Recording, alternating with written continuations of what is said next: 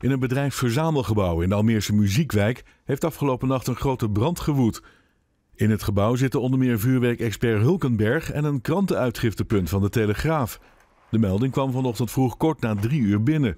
Toen de brandweer arriveerde aan de Musicalstraat, kwam er al flink wat rook door het dak. Het vuur was toch snel onder controle. Het gebouw heeft wel rook- en waterschade. De oorzaak van de brand is nog niet duidelijk.